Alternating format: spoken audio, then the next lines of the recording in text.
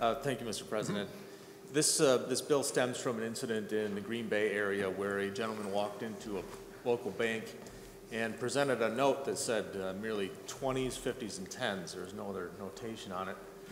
Um, And then after looking at the teller, said, "Give me all your money." Uh, Now, the teller presumed that something was amiss.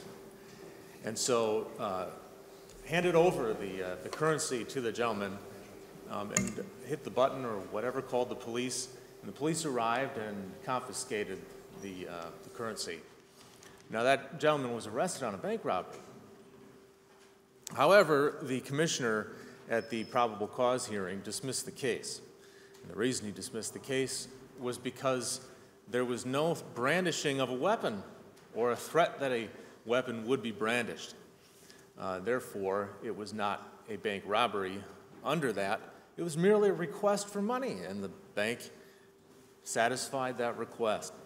So, this, what this bill does is it creates uh, an additional type of an element under circumstances that I guess unusual, uh, but apparently possible in the state of Wisconsin, um, or at least coming on the front end to make sure these things don't become possible in the state of Wisconsin, um, whereby uh, if you create a circumstance where a reasonable person would believe that, um, that a threat is imminent, that that would also satisfy the, con- the concept uh, of uh, procurement of um, uh, improperly or a bank robbery.